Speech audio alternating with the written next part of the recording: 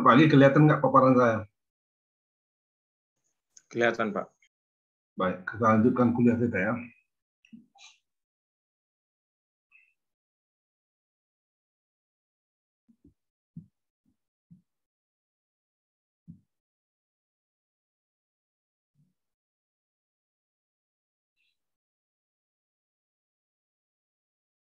Pada akhir perkuliahan ini, diharapkan mahasiswa menguasai subsistem pada budaya kopi yang di yang dapat diefisienkan dan diefektifkan dari dimensi budidaya atau agronomi.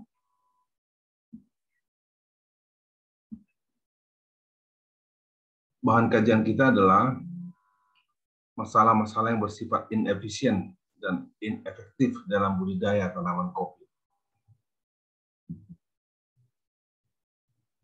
Kita tahu bersama bahwa agronomi yang sekarang disebut juga budidaya adalah ilmu tentang pemanfaatan tanaman untuk memproduksi bahan-bahan yang berguna bagi manusia dan lingkungan dengan memanipulasi lingkungan biotik dan abiotik tanaman manipulasi artinya di sini memperbaiki ya, memperbaiki lingkungan biotik dan juga lingkungan abiotik tanaman.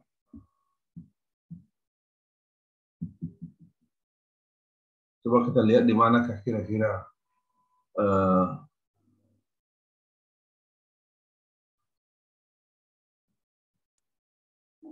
inefisiensi dan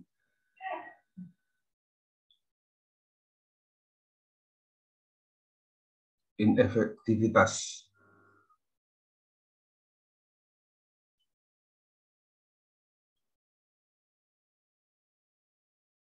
Kita tahu bersama bahwa pendapatan petani diperoleh dari jumlah produksi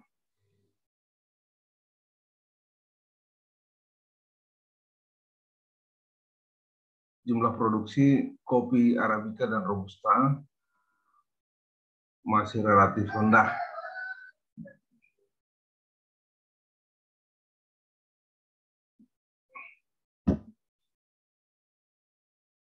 Produktivitas yaitu banyaknya produksi persatuan luas dan waktu tidak terlalu tinggi. Karena apa? Karena teknologi yang digunakan juga belum matang, belum sempurna.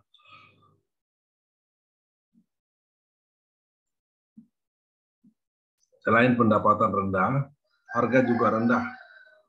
Itu karena apa? Karena ilmu usaha ekonomi, dan pemasaran juga rendah.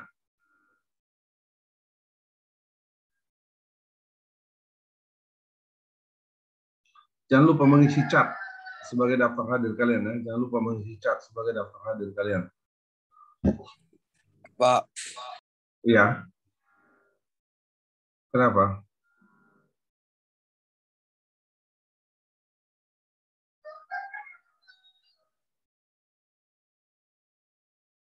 Sebagai daftar kalian, kalian hadir kalian adalah isi chat ya.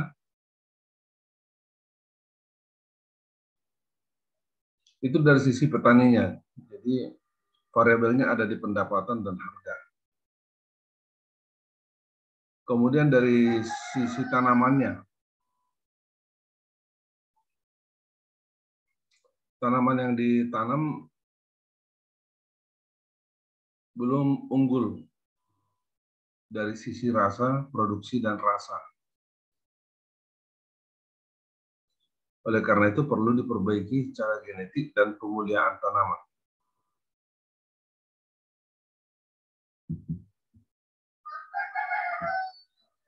Per definisi tadi, agronomi itu adalah memanipulasi lingkungan biotik dan abiotik.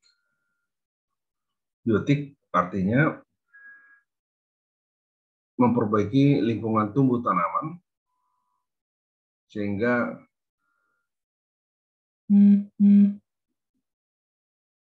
unsur-unsur hara yang dibutuhkannya tersedia.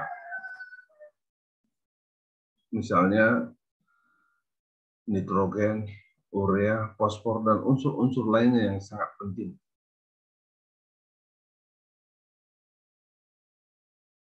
Juga memperbaiki lingkungan tumbuh agar hama dan penyakit karat tidak merebak.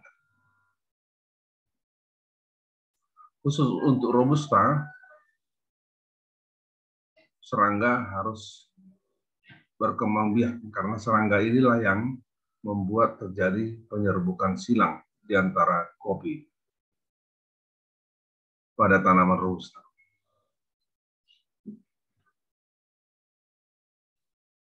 Jadi lingkungan biotik itu harus diperbaiki sekali lagi supaya tersedia unsur-unsur hara, hama dan penyakit terkendali, polinator untuk robusta hidup dengan baik.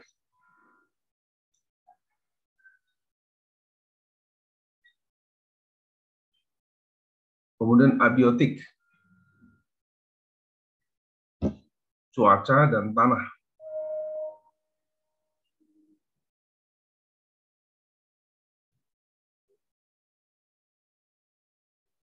Pengguna, cita rasa, harga. Jadi para pengguna itu harus merasakan cita rasa kopi yang tinggi dengan harga yang terjangkau.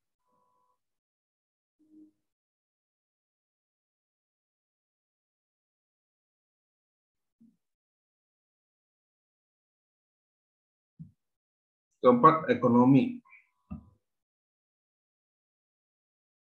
Sering kita bertanya apakah kopi itu elastis atau inelastis. Tiga konsep elastis, yaitu elastisitas harga, elastisitas silang, dan elastisitas pendapatan. Coba kita lihat dulu bagaimana dengan elastisitas harga. Amerika adalah negara importir utama kopi dari Indonesia tentu saja selain Brasilia dan Kolombia. Soeharno 2017 sebelum masa pandemi membuat eh, kesimpulan bahwa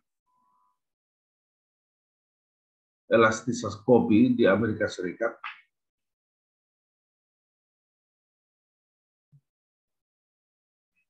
mempunyai elastisitas pendapatan, elastisitas harga kopi, dan elastisitas silang. Kalau elastis pendapatan artinya komoditas kopi adalah barang normal.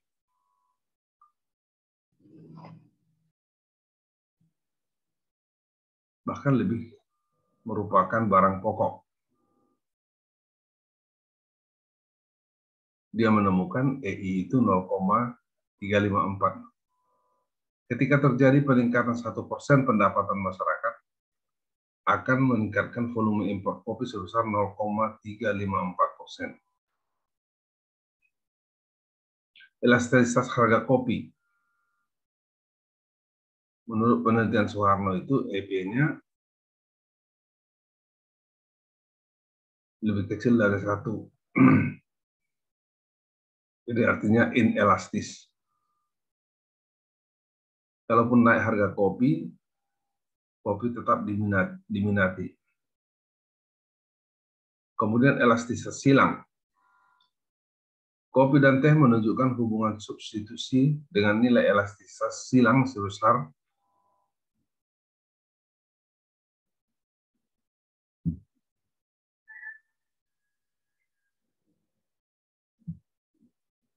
nol koma tiga lima empat jadi kalau kopi tidak ada, mereka akan beralih ke teh. Kalau teh tidak ada, mereka akan beralih ke kopi.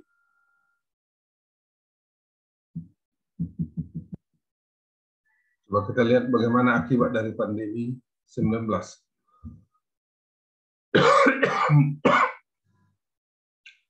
kita tahu bersama bahwa akibat pandemi COVID-19 yang ditemukan di Desember 2019 yang hingga sekarang juga masih terus berpengaruh yang mengakibatkan perekonomian global merosot. Daya beli masyarakat menurun. terjadi lockdown di berbagai pelabuhan.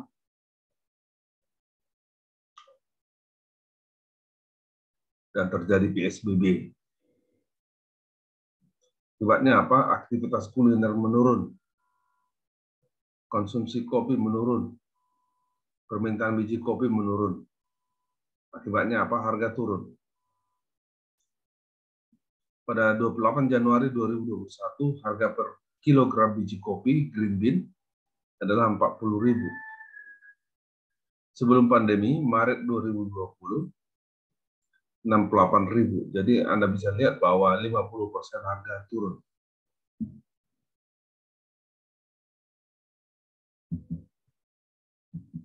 Inilah situasi eksportir kopi kita.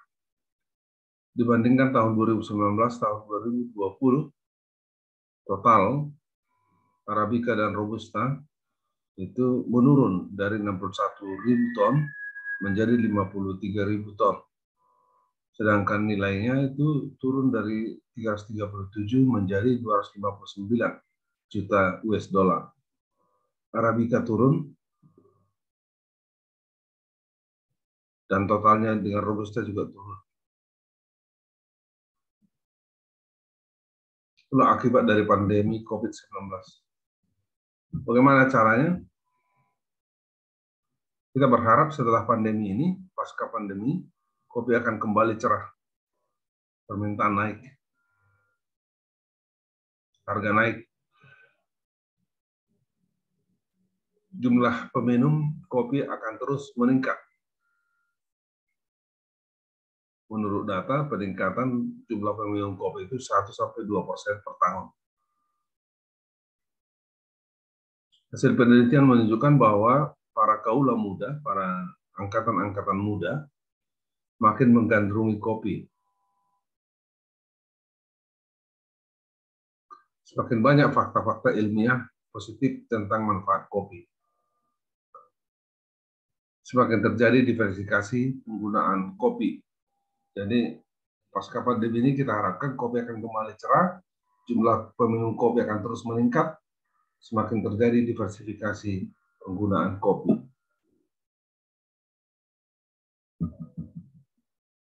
Inilah perkembangan harga ketika terjadi pandemi. Ini tahun Desember 2019 puncaknya terjadi pandemi itu income menurun terus sampai Maret 2020 naik lagi. Turun lagi. Naik lagi turun lagi naik lagi. Kalau beberapa minggu yang lalu saya beli kopi dari Cikarang, harganya per kilogram yang sudah di apa namanya dibuang kotoran-kotorannya sudah siap ekspor itu 86.000 per kilogramnya. Jadi sebenarnya harga kopi terus meningkat. Ada pertanyaan? Tidak ada ya? Coba hidupkan videonya masing-masing.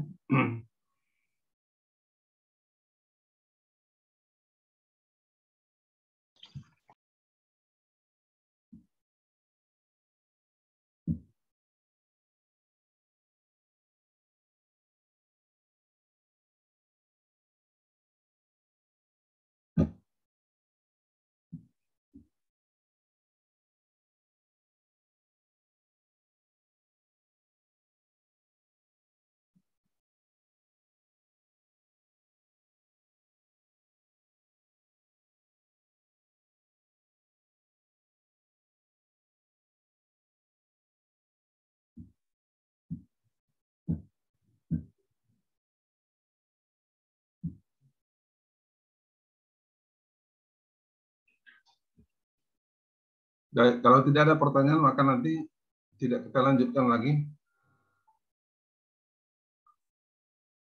Minggu depan akan ada paparan dari mahasiswa pengikut mata kuliah kopi. Maksud saya besok, besok ya. Nanti saya pilih beberapa orang terbaik untuk besok. Demikian juga untuk kopi dan demikian untuk kopi dan pemulihan tanaman. Baik, saya akhiri kuliah kita hari ini. Sampai ketemu lagi. Jaga kesehatan masing-masing. Selamat pagi. Pagi.